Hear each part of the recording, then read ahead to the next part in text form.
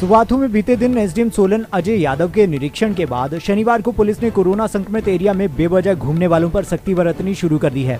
चौकी प्रभारी जवाहर सिंह के नेतृत्व में पुलिस ने थड़ी में नाका लगाकर कोविड नियमों का उल्लंघन करने वालों के खिलाफ कार्रवाई शुरू कर दी है। हालाँकि इस दौरान अधिकतर लोगों को चेतावनी देकर छोड़ा गया है।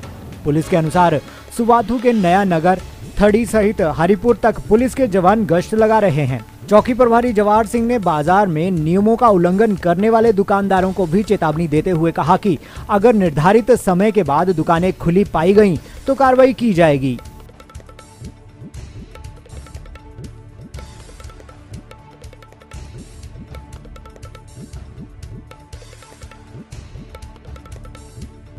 दिव्य हिमाचल टीवी के लिए सुबाथू से कपिल गुप्ता की रिपोर्ट।